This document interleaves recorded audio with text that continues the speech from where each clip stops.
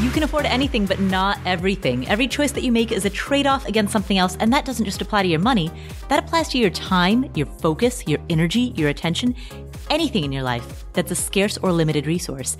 And that opens up two questions. First, what matters most to you? And second, how do you align your daily, weekly, monthly, annual decisions to reflect that which matters most?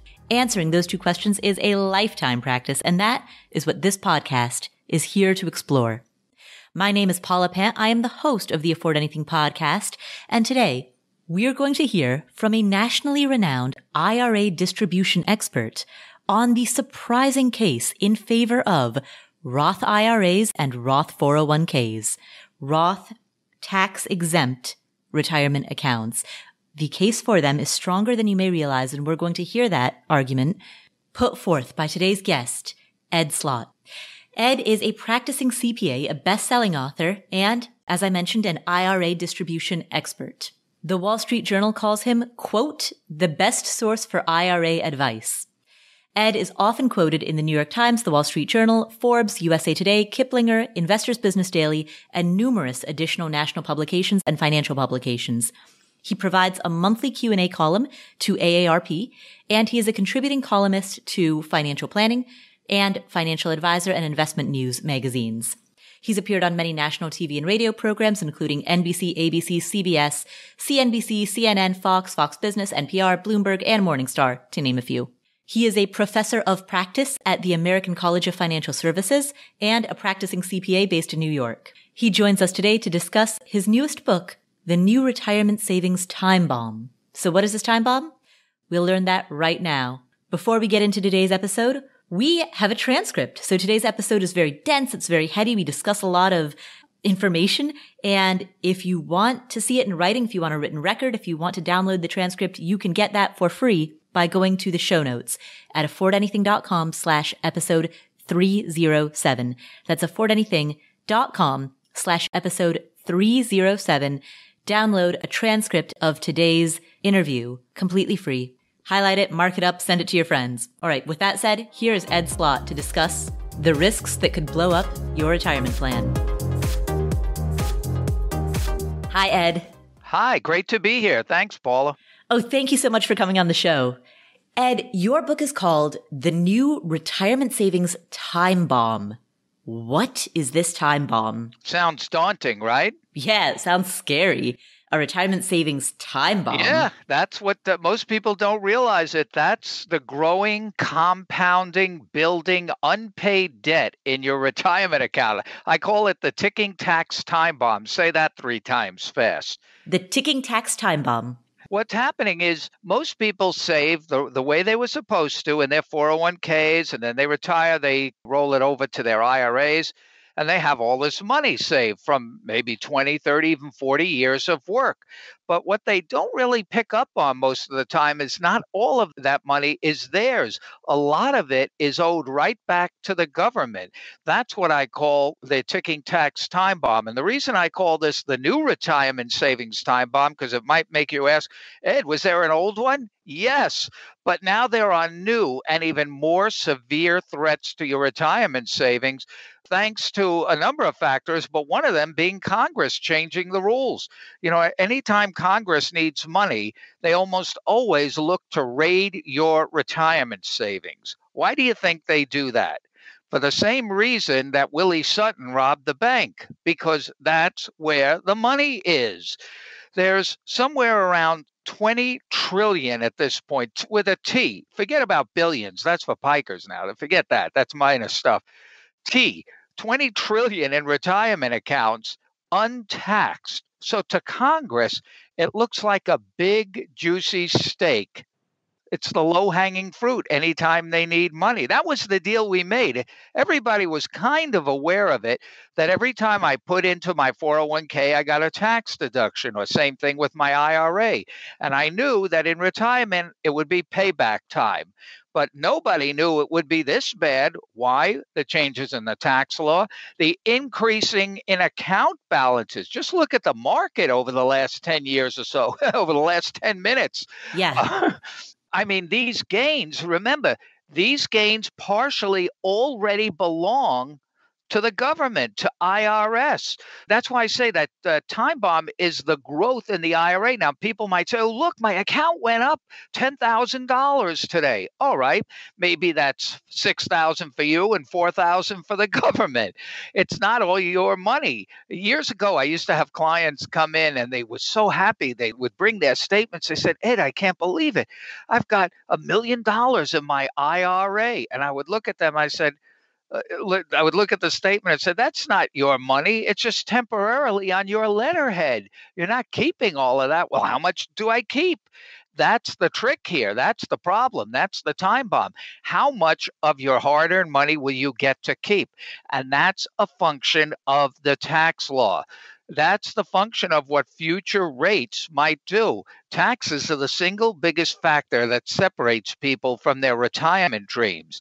And if we expect, like I do, as you may have read in the book, I expect taxes to go way up at some point to pay off these exploding deficits and the debt we are building up as a country, living on a credit card at some point, that bill has got to get paid. And where do you think Congress will go? To the money that has not yet been taxed. Like I said, the low hanging fruit.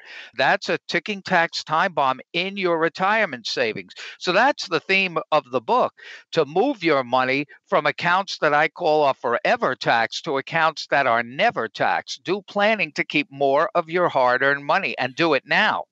From what you've just said, a couple of thoughts strike me right off the bat.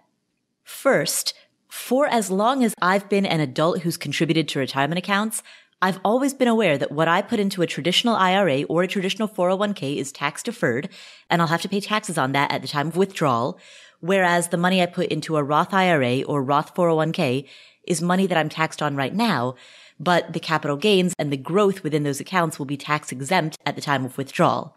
And so I've always known, as have most of the people who are listening to this, uh, we've always known that those two types of accounts are at our disposal and we have to tax plan accordingly based on the structure of the accounts that we are making contributions to.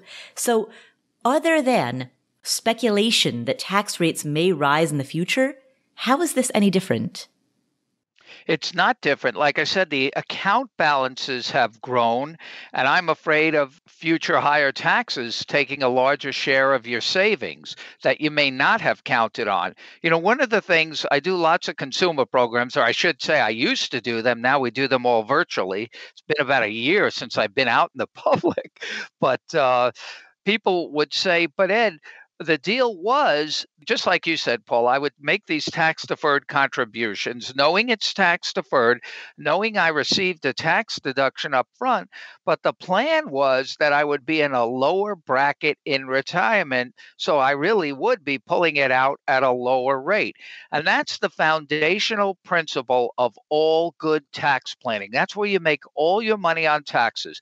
That's my always rule. And it means always pay taxes at the lowest rates when the rates are the lowest. It's a tax arbitrage game. That's all this whole this whole thing with retirement accounts is to, you know, get the deduction at a high rate, pull it out at a low rate. So for all the people that think they will be in a lower bracket in retirement, I call it a myth because it doesn't often happen. People who save the most have large balances and when it comes to retirement, I've had many clients over the years when we do their taxes, they're amazed. They, they always look at it and say, How is this possible? I'm making more now in my best working years. How could my income be so much higher now? Well, because at age 72 now, you're forced to take it out. So if the market has done well to you, your investments have done well and it's grown, you may have some big required distributions that are forced out at whatever the current rate is. Now, it may actually be for some people, and I take you through this in the book, not every idea is for everybody. It's to make you think and do an evaluation the pluses, the minuses, the benefits, drawbacks, and see what plan is best for you. Actually, for most people, I think moderation might be a good tactic. For example, over the years, do a series of annual smaller Roth conversions. So over time, you're taking down that large the taxable IRA and building up your tax free money. But back to people who think they'll be in a lower bracket in retirement. If you think that's true, then maybe a Roth conversion's not for you, and maybe it won't be so bad. But two things against you. Again, the larger balances mean larger taxes when you take it out, and the unknown what future rates might be. Plus, there's another thing. Married couples tend to say this. They say, well, in retirement, neither one of us will be working, so we'll be in a much lower bracket. That's only temporarily uh, so, even if that's true, because at some point the first spouse is going to die. And then what happens in almost every couple, because most couples leave everything to each other, which is fine. That's probably what most people should do. So let's say the husband dies first, he leaves everything to his wife. Now she has all the assets, all the funds, the money, all the net worth, whatever whatever they had together, she has.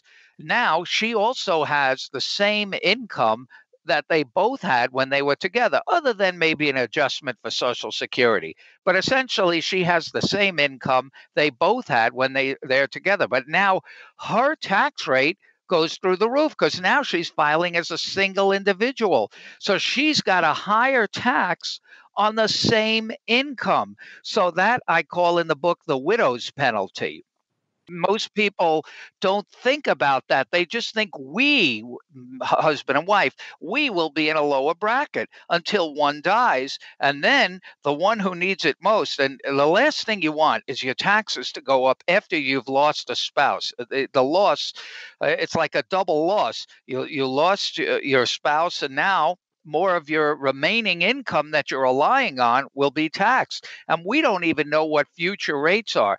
That's why, Paula, I put in. Uh, if you look at the book, I put in the history of tax rates. I don't know if you noticed that in the book. I gave you a full history of tax rates from the 16th Amendment in 1913.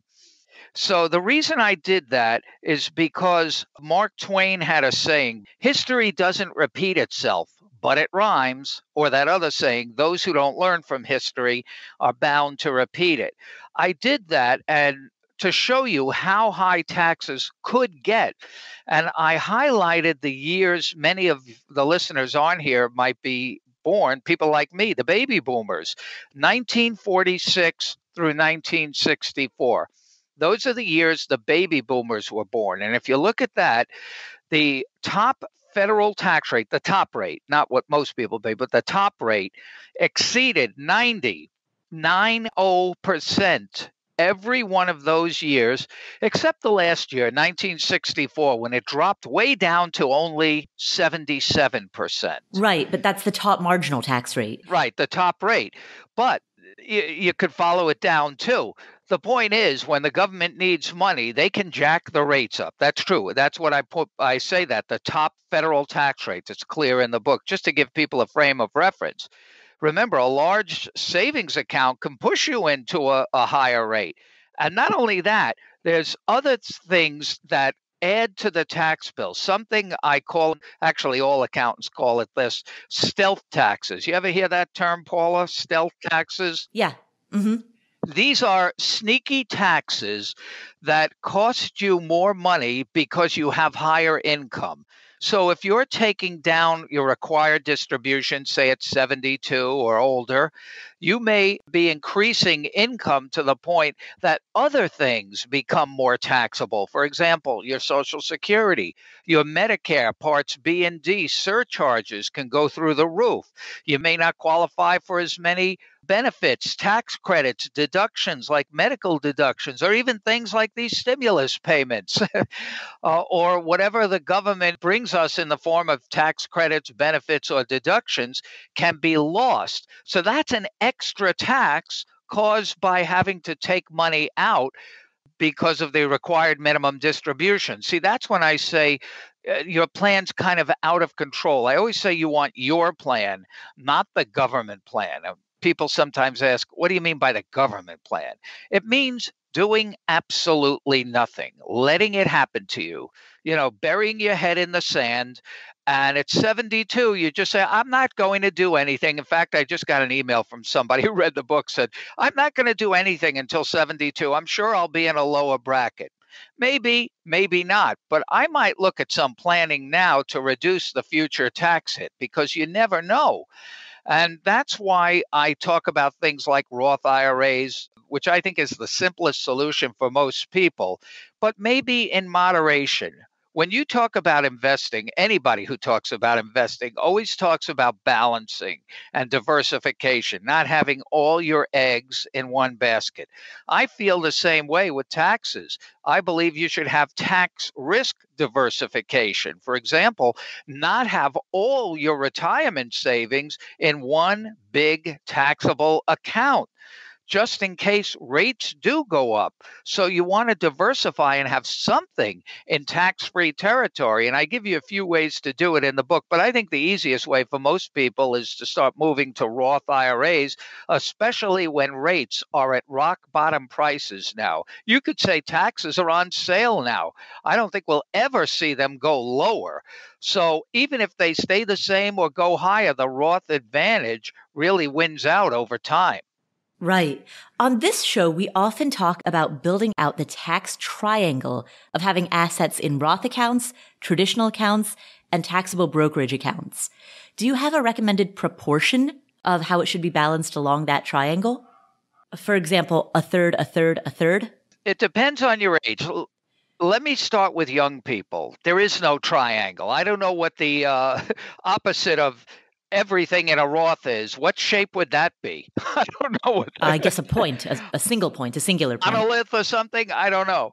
But young people should only be doing Roth IRAs. The greatest money making asset any individual can possess is time. And young people have more of it than anyone else. And the way to capitalize on it is to start from dollar one Roth only. Start building from the first dollar a tax free retirement account. First of all, when rates are low, deductions aren't even worth that much. And most young people starting out are not in their peak earnings years. So their, deductions, again, are not worth as much. Better to forego the deductions, start building up in a Roth. Imagine I'm I'm in that baby boomer era. I'm in my late 60s. I, I, can only imagine if I was able from dollar one to start building tax free. Can you imagine that, Paula? Like people in their 60s and 70s, if they had the ability that young people have to start out from your first dollar you put in a retirement account to be growing tax free your entire life, I can't even imagine how good that could be. Two follow up questions. Yeah, go ahead. First, does this apply to young people who are high income? Because certainly there are many people who are listening to this who are in their 20s, but they make significant six figure incomes in high paying jobs. So that's the first question. The second question is, how do you define young in this context? Is it only 20s? Is it 20s and 30s? Well, 20s, 30s, 40s, I would say is young. Uh, it's your frame of reference, I guess. 20, 30s, 40s. But take that other question. A lot of young people do have nice salaries to me, that means they're going to have even much more later on. They're building a strong foundation, and it would still go Roth because rates are still relatively low. Even if you're in the top rate, it's only 37%. These are the kind of people that may be in the top rates for the rest of their lives. And, uh, you know, so if they forego the deduction at relatively low rates, I believe they'll have more later on because if they're already doing well now, I would guess they're going to continue that path and build up a high net worth. And that's the kind of net worth you would like to have a good chunk of that be tax free. What if there's a year in which they get a significant payout that's above and beyond what they normally expect to get? So, for example, if there's a major sale in their company, they get a giant bonus, a big commission. What if they experience one unusually high income year that they expect will not repeat? Still, they won't go over the 37% right now. Remember, they're locked in at these low rates. Now, I don't know how long these rates will be here. It depends what future rates are. But in general, I believe, and everybody can make their own decision, it's best to get rid of this mortgage. That's what I call these the taxes this time, Bob. The taxes on the IRA. It's like a mortgage on your IRA. It just drags it down and you know you'd rather have it free and clear. You know i learned this years ago i think a lot of people learned it from their parents years ago. My father bought our house the first only house we had. He bought uh, in 1957 for $16000 he took a $12000 30 year mortgage and it took him 30 years to pay off that $12,000. And I remember in 1987, I was in my early 30s then, when he finally paid off that $12,000 mortgage over 30 years, he was so happy and proud to own his own home free and clear for many people, their IRAs and 401ks will be larger than the value of their home. If you like the idea of owning your own home free and clear, I think you'd love the idea of owning 100% of your retirement account free and clear. Here's the downside because I always look at every financial decision, any decision in life, you should probably look at this way, but it works well for financial decisions. What's the worst case scenario? What if I'm wrong? What if Ed Slott is wrong? What if taxes don't go up? What if they even go down? I doubt that happening, but let's say I'm wrong about everything. And the worst case scenario is you converted everything. The worst case scenario, you converted everything to a Roth and taxes didn't go up. Here's the great thing the worst thing that can happen, your consolation prize, is that you've locked in a 0% tax rate on your retirement savings for the rest of your life and even beyond to your beneficiaries. You've locked in today's low rates. You never, ever have to worry about the uncertainty of what future higher rates can do to your retirement savings. You've locked in a 0% rate. I think that's a pretty good consolation prize. You can't beat a 0% rate. So to me, that's the worst case scenario. In fact, I had an advisor. I was doing one of these uh, virtual, you know, our webcasts. We trained lots of advisors, and a guy got on the program and he said, "Ed, you keep saying the same thing I just said to you. Convert to a Roth, take advantage of low rates because that's good tax planning." He said, "I was at your big two-day program in Las Vegas 10 years ago, and you said the same thing that rates would go up." Well, they didn't. In fact, rates went down. So you were wrong. What do you have to say about that? I said, well, if you had listened to me and converted 10 years ago, think of the gains you've had the last 10 years. They would all have been tax free now. Okay, additional follow up question. One of the things that you said about a person who's in their 20s who's making a very high income, we'll say someone in their 20s who's making a solid six figure income or multiple six figure income, they have a high likelihood of having a high income throughout the rest of their career. However, there are a number of people who are listening to this episode who have ambitions of early retirement and hope that when they turn 40 or when they turn 45, they may be able to either stop work entirely or make the conscious decision to switch to a lower paying, higher fulfillment career and to do so from a position of financial strength because they spent their 20s and 30s accumulating. Should those people also be prioritizing Roth accounts? Well, I think there's a moderation, but if they've done all of that, they will probably have a healthy net worth because I don't think you. I know about the is is the fire thing that you're talking about. I know about it. Financial independence, retire early. Is that it? Yes, that's it. Yeah.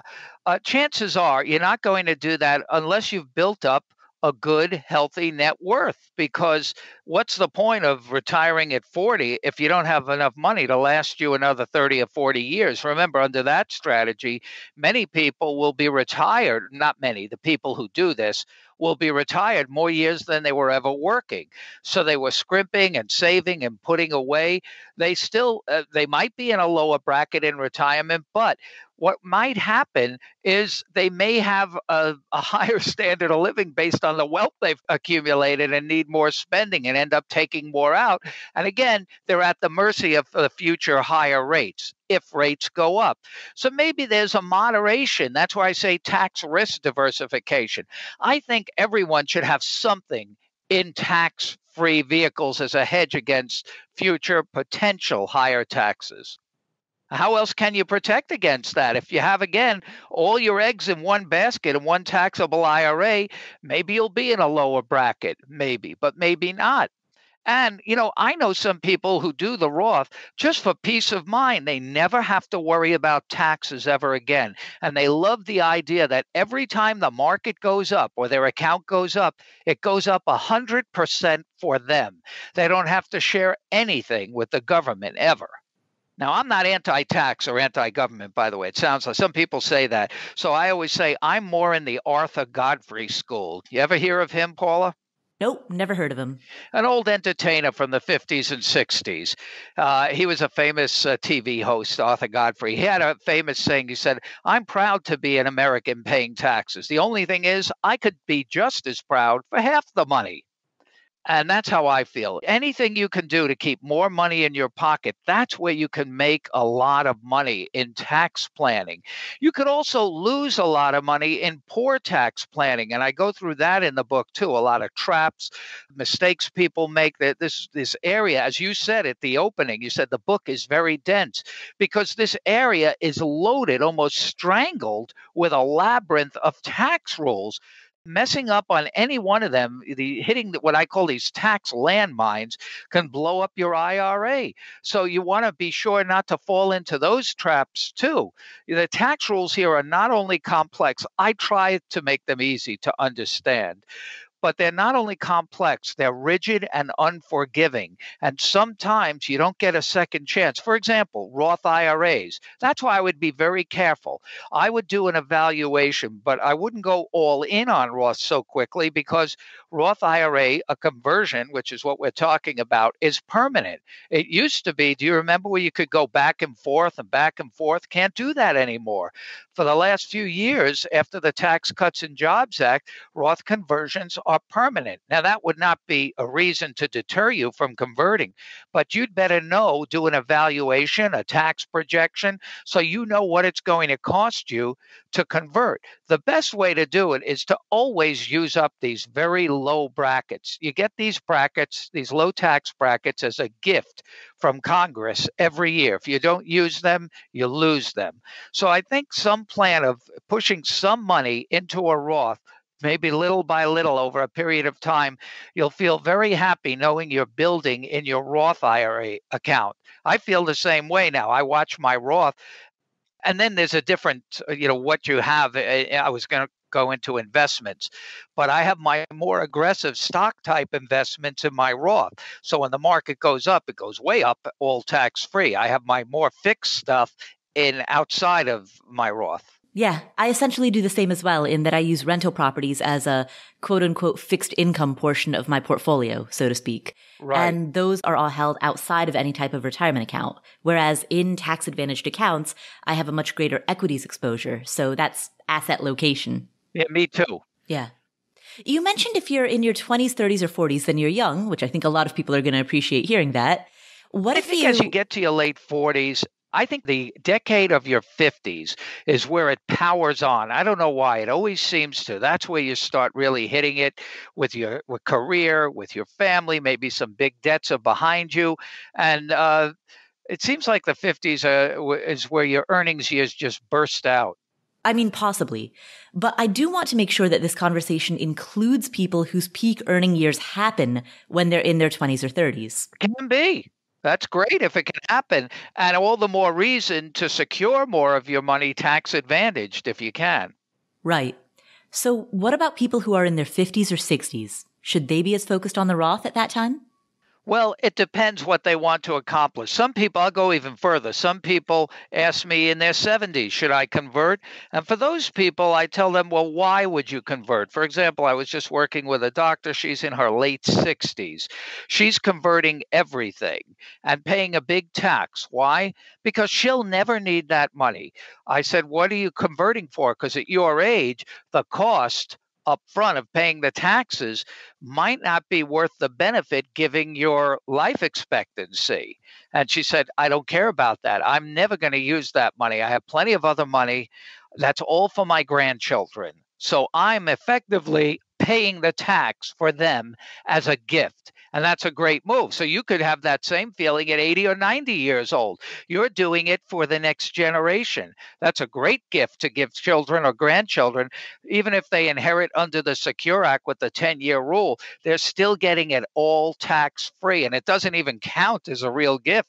You're paying the tax that they would have otherwise paid in the 60s and 70s, uh, that's where you might be more moderate. Remember, at 72, you're forced to start taking money out.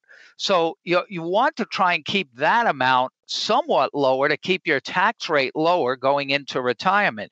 So maybe again, a moderate approach. It's not all or nothing. It's one thing with the Roth. You have to do what you're comfortable with. But I think everybody should have something just tax advan- you know, tax free in a Roth as a hedge against future tax risk. Do you have any recommended proportions of broadly what percentage of your money should be in Roth accounts versus traditional retirement accounts? Well, I think young people should be 100% Roth. And that's just me because they have the time on their side. And to power it up, accumulate a lifetime of tax free. Remember, Roth money always grows the fastest because it's never eroded by current or future taxes. So for younger people, I think that's a no brainer. Uh, only do the Roth at work, do the Roth 401k wherever you can. Just start piling up your retirement savings and never having to worry about what to do if Congress jacks up the tax rates. Actually, if Congress raises the rates, whenever tax rates go up, anything tax free, like a Roth, becomes immediately more valuable. For example, let's say, I hope it never happens, but let's say tax, just to make an easy example, if tax rates go up to 50%, if you have a Roth IRA, your money's worth double what an IRA is worth because now an IRA is only worth half. For so the top marginal tax bracket, that would be true. Right. Or whatever, if that's the amount you're paying, it depends uh, where you fall in. So I, I, don't know if there's a general rule. Everybody has to do what they're comfortable with. Like I'll look, I may be an outlier, but I have I'll tell you how much I have. I usually don't give away my net worth, but I'll tell you how much I have in my traditional IRA. Zero. well, in 2010, when I was telling everybody to do it, do you remember what happened in 2010, Paula? In 2010, that was right after the Great Recession. So, to my recollection, we were in the process of recovering from the Great Recession. All right, Congress opened up the floodgates. It used to be if you made more than $100,000, you didn't qualify for a Roth conversion. In 2010, they removed that barrier and the floodgates opened up. They even gave people the deal of the century. I was on programs just like this saying, take that deal. You're talking they, about the backdoor Roth? No, no. You got to convert. You didn't even have to pay tax in 2010. You got to spread the income over 11 and 12 over two years. I used to tell people do that. The government is giving you an interest free loan to build a tax free savings account. So I converted everything in 2010. I didn't even pay any tax on it in 2010. I, I, included half in 11 and half in 12, like everybody. So I went extreme. I did all in, and all those gains from 2010 till 10 minutes ago, I haven't checked, I've been on with you, uh, have all been tax free. And I love that feeling, but maybe that's not for everyone. Maybe not everybody wants to part with the money. See, that's the key. A lot of people don't like the idea of paying a tax before they have to, paying upfront. In fact, as a CPA, a tax accountant, which is what I am, uh, we were trained from the first day in college in accounting 101 and they banged it over your head every year.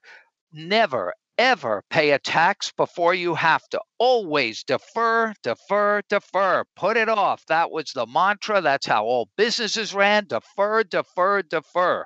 In fact, if when you were a kid and your mother told you to do something and you said, Not now, Ma, I'll do it later, you would have been an accountant because you were trained to defer and put things off.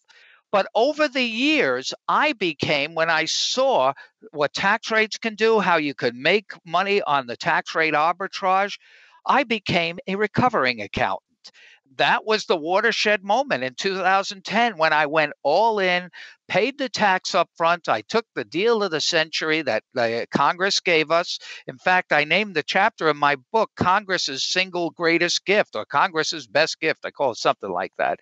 And I'm pretty tough on Congress in the book, but that was a, a watershed moment the ability to just dump that in, but not everybody is comfortable paying a tax up front.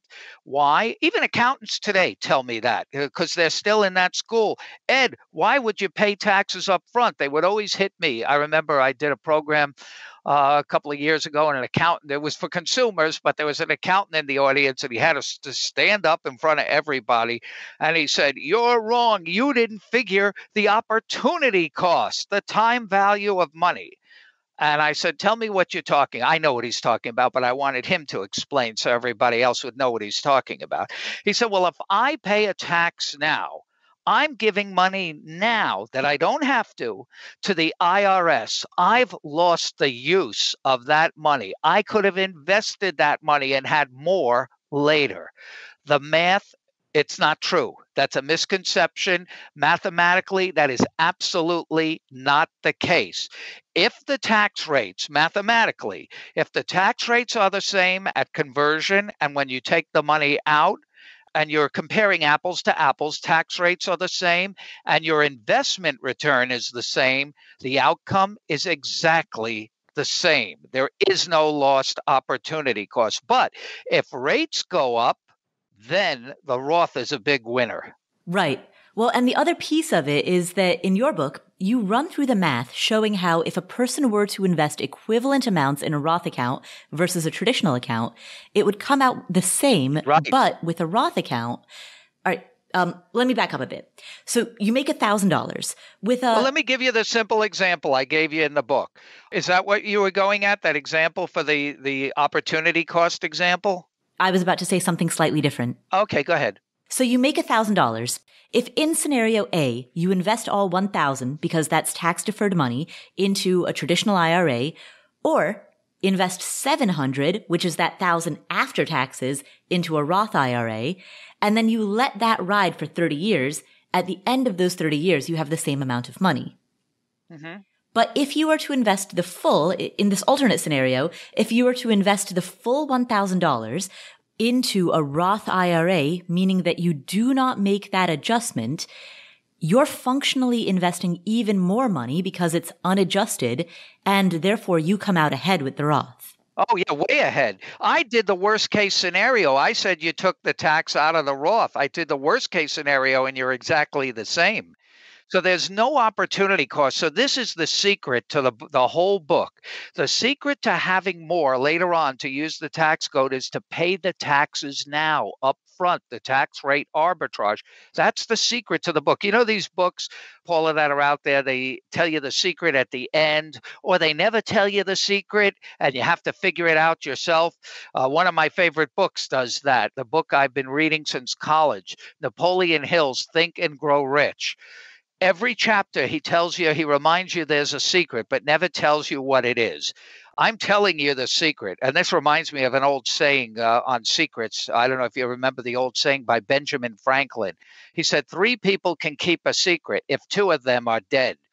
I've never heard that. Yeah, yeah. But I'm giving you the secret so you could share it with everybody. To get rid of that mortgage, pay it off now then your money can explode and compound for the rest of your life. In almost every case, you'll have more later. But if I'm wrong, the worst case scenario is a 0% tax rate for the rest of your life. Okay, let's discuss what's new and what's next. Can you tell us about the changes to the tax code that resulted from the passage of the Secure Act, which passed at the end of 2019? Yeah, it was effective in 2020 and it upended planning for people that had been planning on constant rules they relied on because that's what you have to do for retirement. It's a long term plan. And they were relying on rules that they thought would stay stable and in place. They wanted certainty. And they set up their plans to do something called the Stretch IRA. It's not a real thing, it's just a name that was given to the ability in the tax law for decades to be able to leave whatever you have left over of your IRA or 401k or other retirement account to your children or even young grandchildren, and they could stretch or extend the tax deferral and the payouts over the rest of their lives, going out, if you had a young grandchild, 60, 70 years. Imagine the power of that deferral uh, and uh, the, the growth on that account. What a legacy to leave to children and grandchildren. Well, Congress didn't like that. They felt, of course, it goes back to the same thing. They needed money. Where did they go? They raid retirement accounts. Why? Because that's where the money is. So they saw an opportunity to accelerate the tax, not wait 70, 80 years. So they eliminated in the Secure Act the stretch IRA. Now, a lot of people were bent out of shape that made plans relying on it. And there's an old CPA saying we always say tax laws are written in pencil. So you really can't trust Congress to keep their word on tax laws uh, when things happen. And that's exactly what what happened here. What Congress did in the tax law by eliminating the stretch IRA, why did they do it? They felt retirement accounts like IRAs and 401ks should be for retirement not as a wealth transfer vehicle or estate planning vehicle to transfer funds to the next generation, children or grandchildren. So they devalued the IRA as a wealth transfer vehicle by eliminating the stretch IRA and replacing it with a 10 year rule for most non spouse beneficiaries. Spouses are exempt, they'll never have a problem. But even with spouses being exempt, at some point, the first spouse is going to die, then they'll be single, and the beneficiaries again will be a non spouse.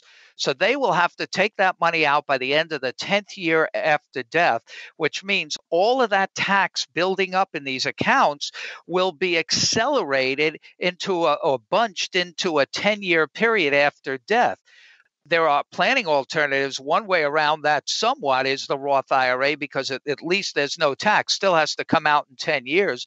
Life insurance turns out to be a better solution because with a life insurance, even if you're naming a trust for it, you could simulate the stretch IRA and you never have to worry about RMDs or tax rules or even the tax because it comes out tax free. So, all Congress did, as usual, is shoot themselves in the foot, playing catch up. All they did is incentivize all of us to do the better planning we should have been doing all along.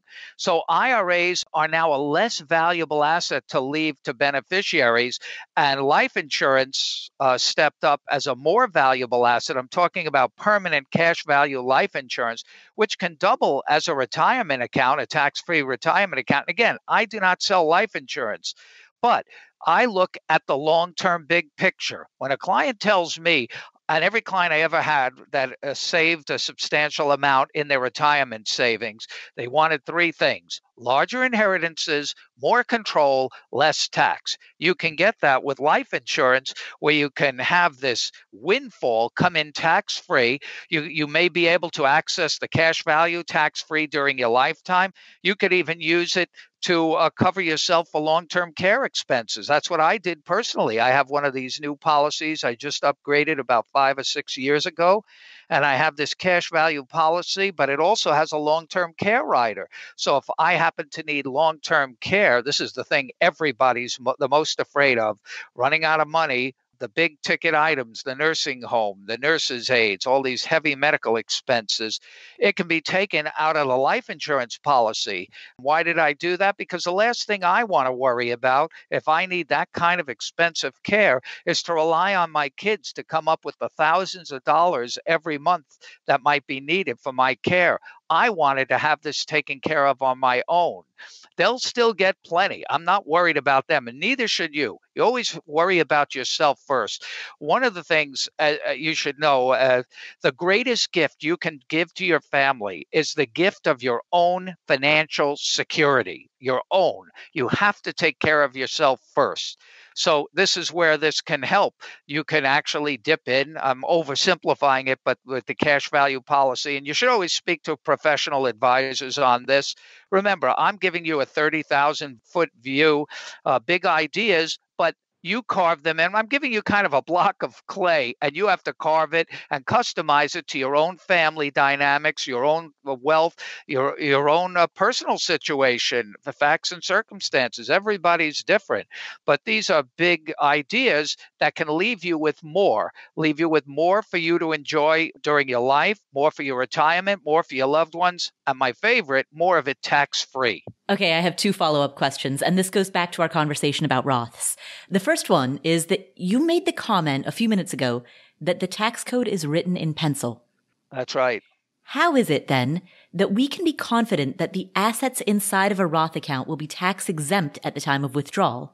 That Congress won't pass some type of a law in the future that says, just kidding, we're pulling the rug out from under you and that 0% rate you thought you'd locked in is no longer so? That is the best question you ever asked. And that's the number one question I get at every consumer seminar. Somebody will always stand up and ask that same question, just not as nicely as you said it. Well, thank you. The, the question is Ed, can you trust the government to keep their word that Roths will always be tax free? And I say this in the exact same words in the book. Of course not. You can't trust Congress as far as you can throw them. They can change the laws anytime, but it's here now. And now you want to take advantage of it. They won't double tax people. That would just be outrageous. So they would grandfather people that are in. You're not going to pay tax twice on the money, but they could trim around the edges, kind of like they did with Social Security. I'm telling you, if you ever speak to some people on Social Security or older people, they will never let you forget that when Congress changed the law, I don't even remember when that was. I think it was in two stages in the 80s and 90s, but they're like an elephant. They never forget. They say, oh, but remember Congress, and they always bring that up. Congress, they made Social Security partly taxable, and that wasn't supposed to be. How can we trust them here? Well, you can't, but the laws are here now to take advantage of it. I think they will grandfather anybody that's in it. I would say get it while it's here. But I have another reason why I don't think they're going to tinker with it. They might fiddle with it around the edges. In other words, they won't tax it per se, but they'll use it to create. Remember, I talked about those stealth taxes earlier, Paula? Yeah. They'll say, yeah, your Roth money is tax free. You paid for it. We're not going to touch that. But we're going to add it into the calculation to see what other items might be more taxable. You know what I mean? The stealth taxes. What benefits you qualify for, that sort of a thing. Yeah, that's the sneaky way. That's why they call it the stealth taxes. But here's the reason I don't think they're going to do anything to hurt the power of the, the tax free power of the Roth. You know why? Congress won't touch it because they're the worst financial planners on earth. Here's what I mean. If I was, you ever see the movie Dave? It's an old movie uh, where he takes the place of the president because he looks like the president. No, no, I haven't seen it. Kevin Kline. Mm-mm, And no. he's an accountant. Not Dave. Dave is the president, but he has to meet with his cabinet. He's not the real president, he's just somebody that looks like him. He doesn't know what he's doing, so he has to meet with his cabinet about the budget. So he doesn't know what to say. He brings his accountant Murray, you know, the typical stereotypical, uh, I don't know if it's Murray, but something like that, accountant's name. And he brings Murray in uh, to sit at the cabinet meeting and he takes out a piece of paper and goes through the budget. So if I was that person sitting with Congress, I would say to Congress, I said, you guys should kill. If I was, you know, on the government side, I, I, you know, if you advocating advising them. right uh, congress to show how to bring in revenue i said you guys got to get rid of this roth ira it's the worst deal for the government ever. And you know what congress would say to me? But it brings in money up front.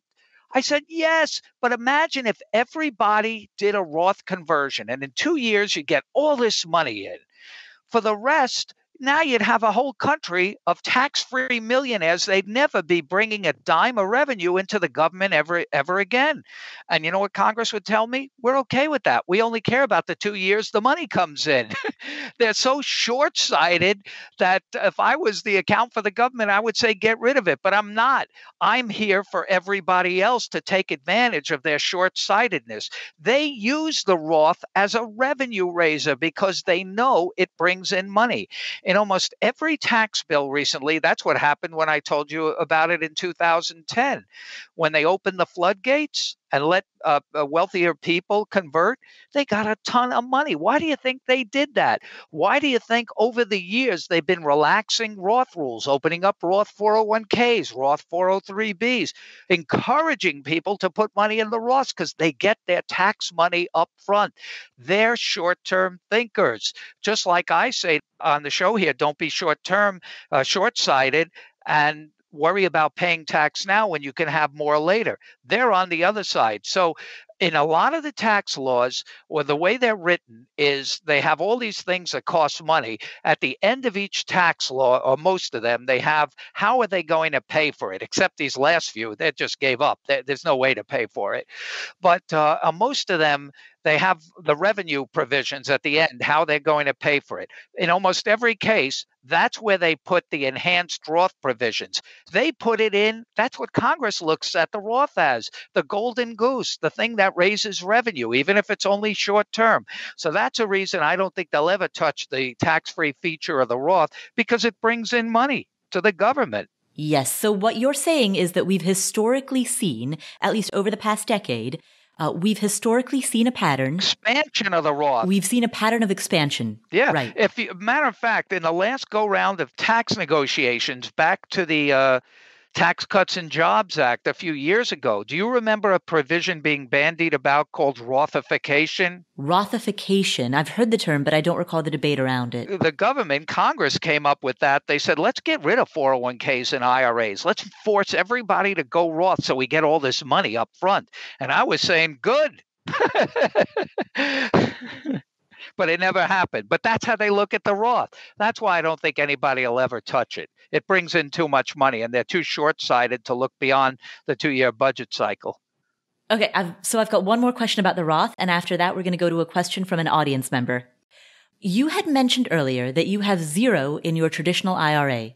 That's right. And I'm very similar. I have precisely $1.59 in my traditional IRA. I have used the backdoor Roth strategy to put the bulk of my IRA contributions into a Roth account. Now for my 401k, my employee contributions all go to a Roth 401k, but the employer contributions, which I pay myself through my own company, have to go to a tax deferred account. For people who are listening who are in situations where their 401k or a portion of their 401k, because it comes from their company, has to go into a pre-tax account, is That's there anything right. that we can do to Rothify that? Well, if they want to go to a Roth, they can do an in plan Roth conversion. They can convert those funds. They can't be contributed to the Roth because it has to go to the pre tax.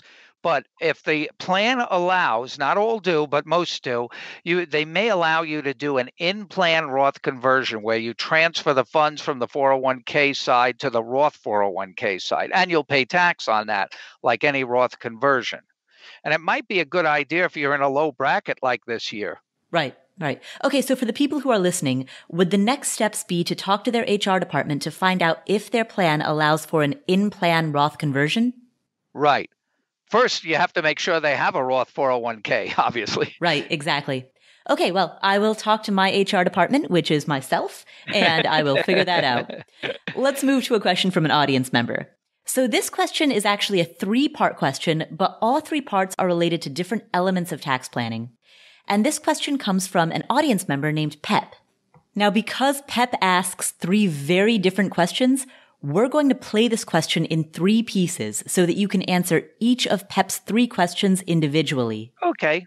So let's start with the first portion of Pep's question. Here we go. Hey, Paula. My nickname is Pep, short for peppermint. First, I want to shout out to you and all of the Afford Anything community. Thank you so much for sharing your knowledge and just being a wonderful human being. I'm also a student in the your first rental property and acquired my first rental property during a pandemic. And it's still worth it, uh, challenging, but worth it. So, again, thank you.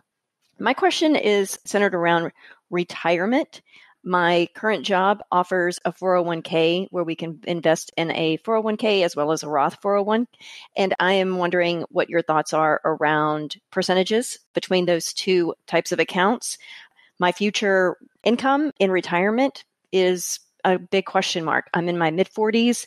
I don't anticipate to retire for another 15 plus years if I ever retire.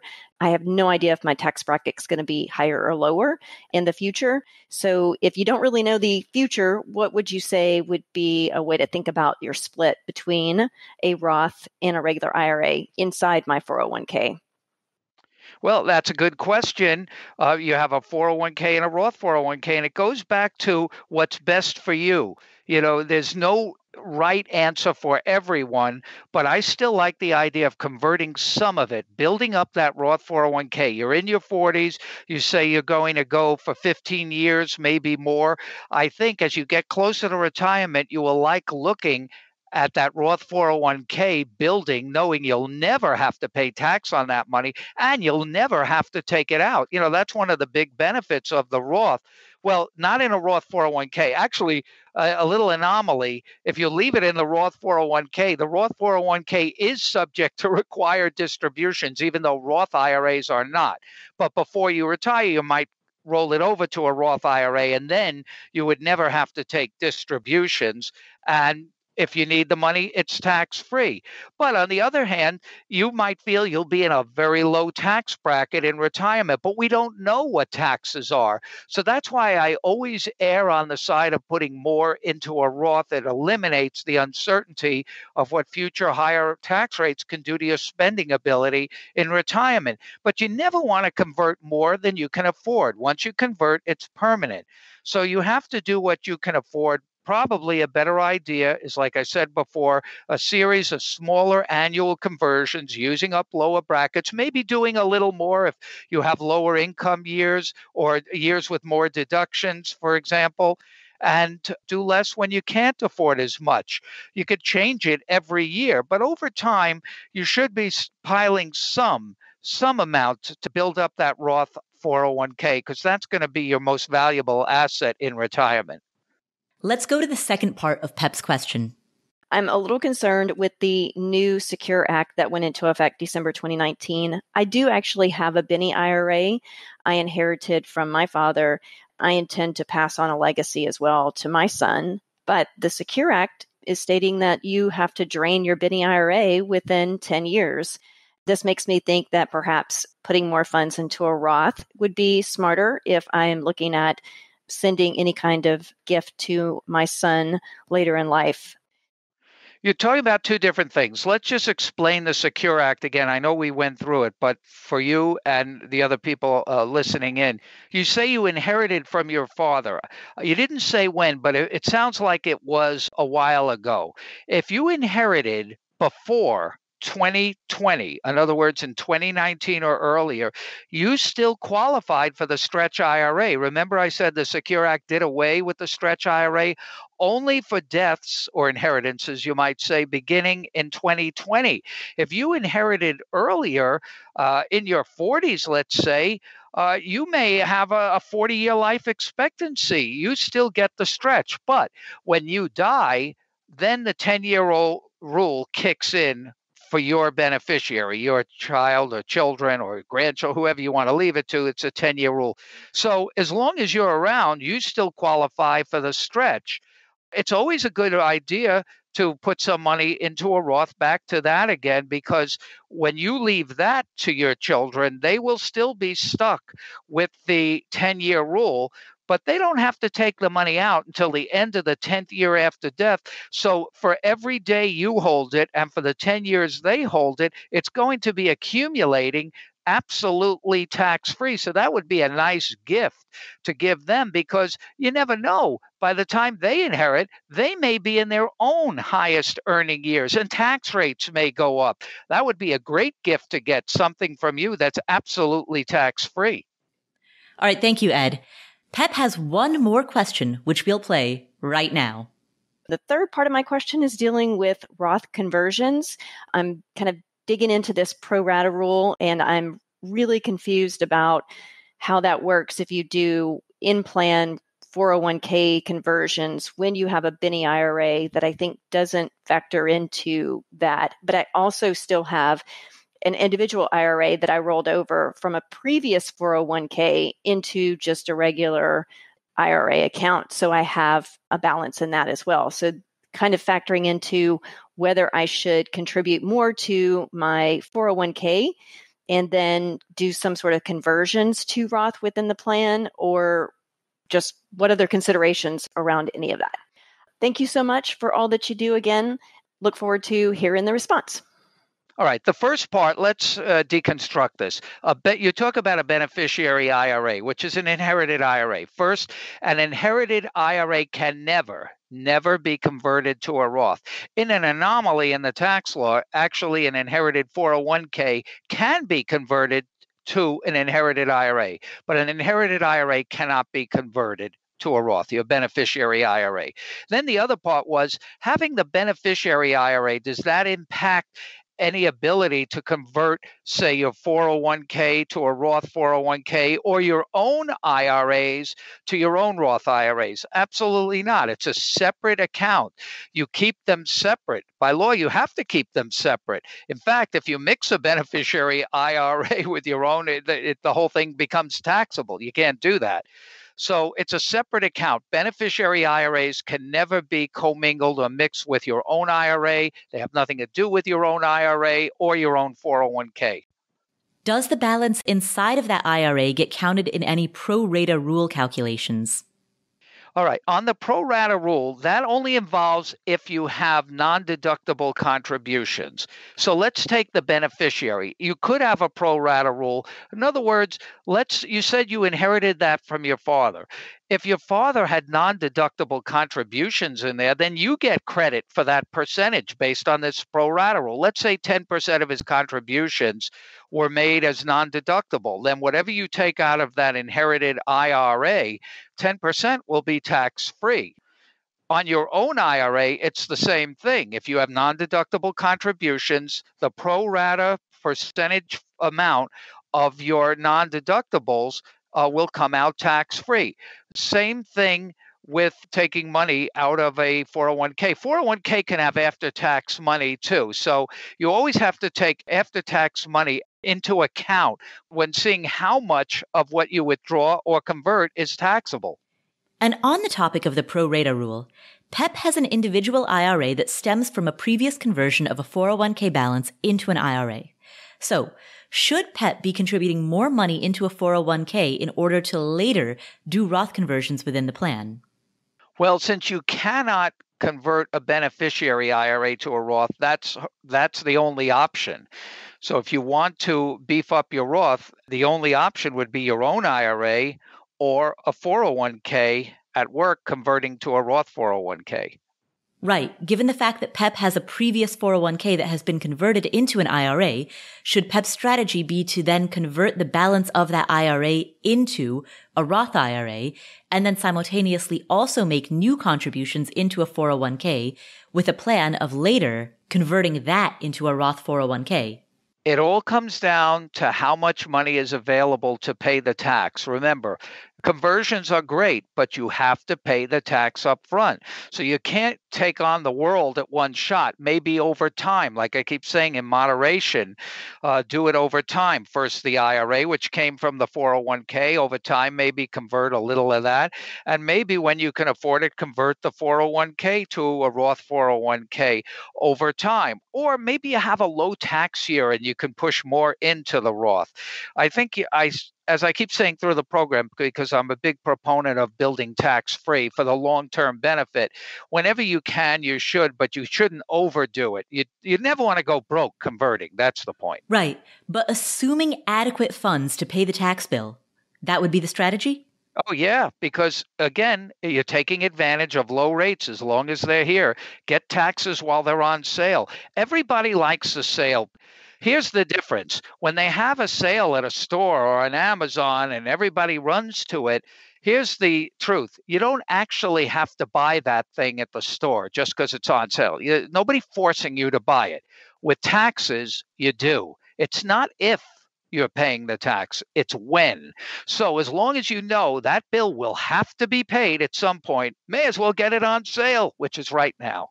Excellent. Well, thank you so much, Ed, for answering Pep's question and for this discussion on the power of Roth accounts to help people build wealth for the long term.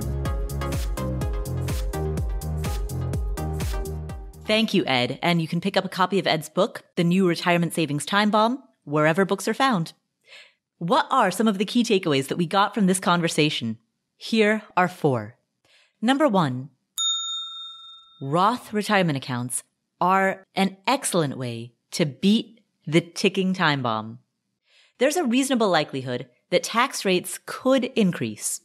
Tax rates are currently at historic lows when viewed as a comparison of top marginal tax rates over the span of the last century.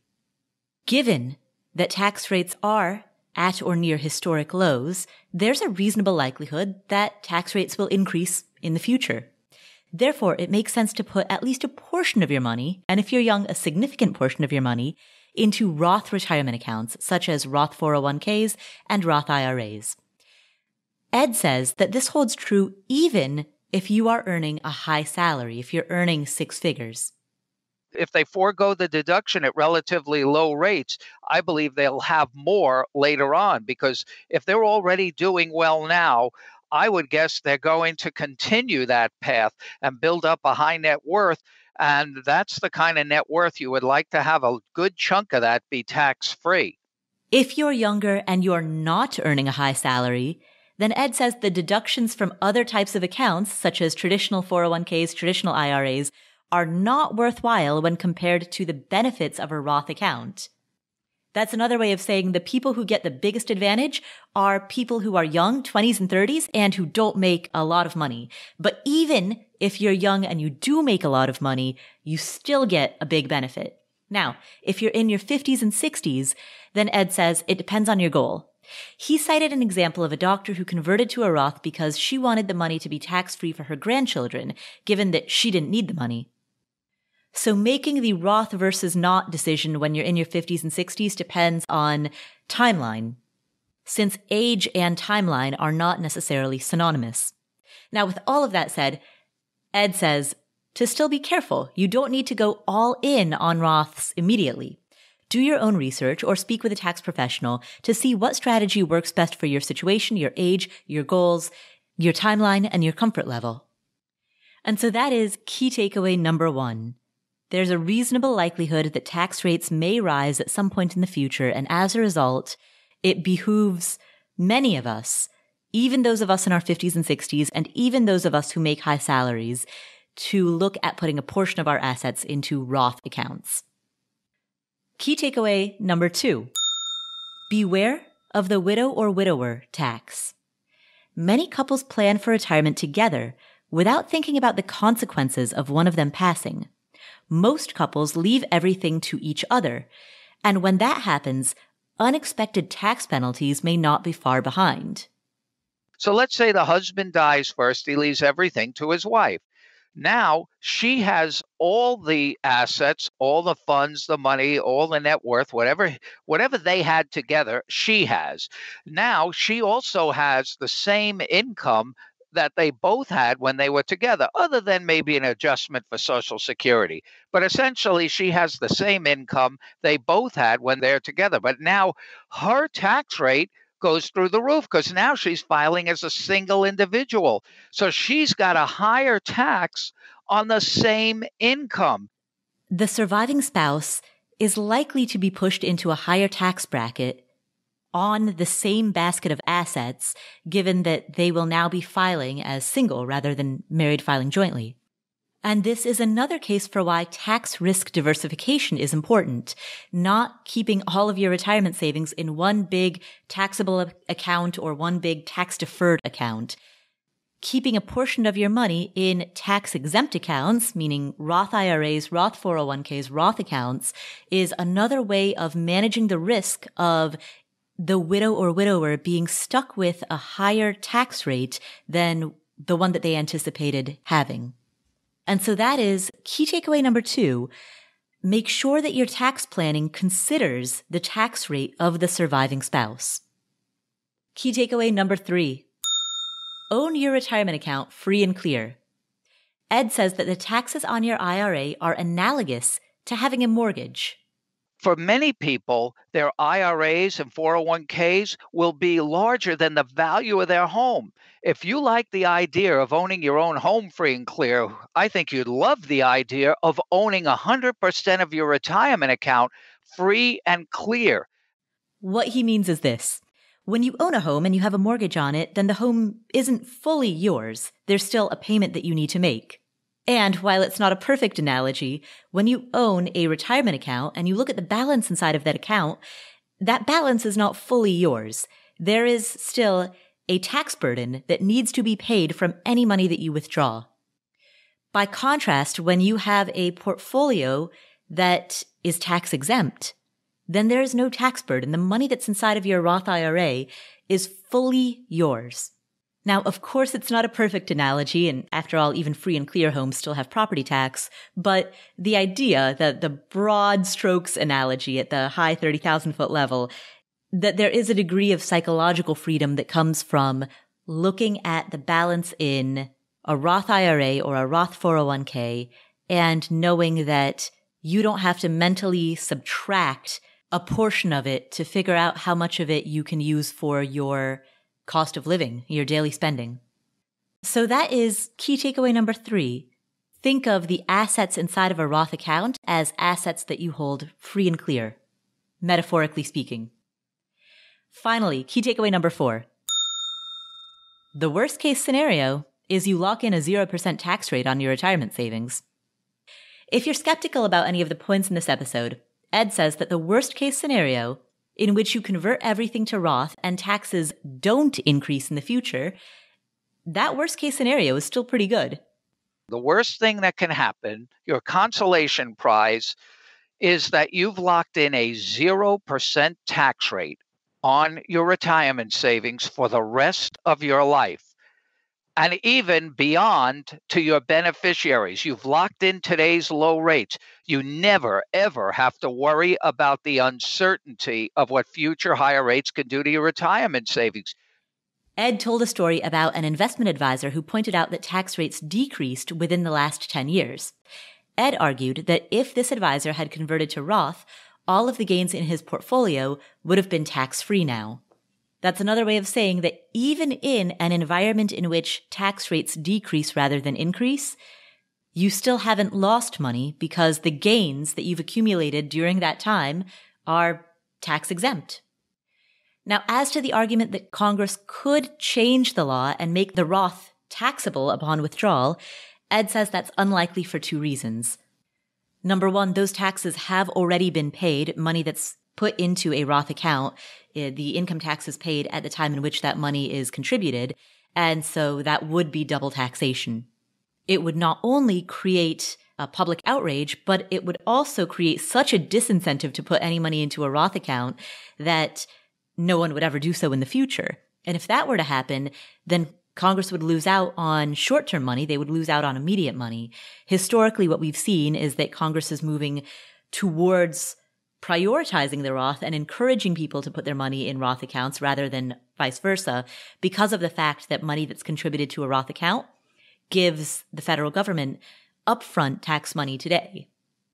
And so all of that is to say that even if we are in an environment in which tax rates decrease in the future rather than increase, even if that premise is proved wrong, that assumption is proved wrong, the worst case scenario is still that money inside of a Roth account has locked in an exemption from any taxation on the gains that accrue inside of that account. So locking in a 0% tax rate, that is still the worst case scenario, even if tax rates decrease in the future. And what that means fundamentally is that putting money in a Roth account has a very managed downside. Those are four key takeaways from this conversation with Ed Slott. Thank you so much for tuning in. If you'd like to discuss today's episode with members of the community, just head to affordanything.com slash community. And if you would like a free transcript of today's episode, go to our show notes page. The show notes are available at affordanything.com slash episode 307. Go to our show notes page and you will get the raw transcript. It is the completely raw, unedited. We haven't done anything like you know, format it or make it beautiful or gussy it up. It's, it even has all of the, um, it's like the uncut director's cut. It's got all of the background talk, the stuff that, that, uh, when we're planning, like, all right, cue up that question here. It's got uh, the the complete behind the scenes. If you'd like to read that, if you'd like to get that transcript, um, since I know today's conversation was a little heady, so you might want the written form in just as something that you can read, something you can highlight, something you can file away, something that you can copy paste and email excerpts of it to people that you know and like and people who you think should learn about this stuff. You can get this transcript by heading to affordanything.com slash episode 307. That's affordanything.com slash episode 307 to download a transcript of today's episode for free. If you are interested, changing gears a little bit, if you're interested in learning about rental property investing, we have a course called Your First Rental Property. It is our flagship course. We put so much work and sweat into this course and it shows the students uh, who have come through the course, the alumni who have graduated have gone on to be very successful rental property investors.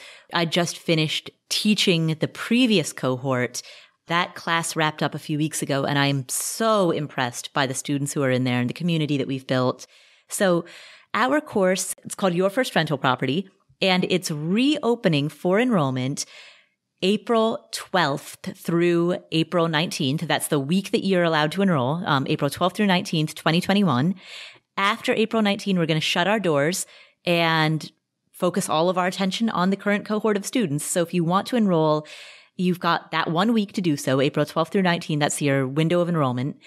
This is the last time that we will be offering the course at our current tuition rate. After this spring, after spring 2021, the tuition rate will increase forever. Um, we will never decrease it again. We don't, we don't offer sales or discounts. So if you do, uh, you get lifetime access. And if you do want to lock in today's tuition rate, I would highly encourage you to join the cohort now. Again, you've got lifetime access. We still actively work with students who uh, enrolled back in 2018. So if you'd like to learn more about it, head to affordanything.com slash VIP list. And that is where you can sign up for our VIP list. You'll get a free email series, a seven day email series with information about rental property investing. And you'll also get updates about the course. So again, affordanything.com slash VIP list to learn more about it. And hopefully I will see you in class. Thanks again for tuning in. My name is Paula Pant. This is the Afford Anything podcast. If you enjoyed today's episode, please share it with a friend or a family member, join our VIP list, or download a transcript. Thanks for being part of this community, and I will catch you in the next episode.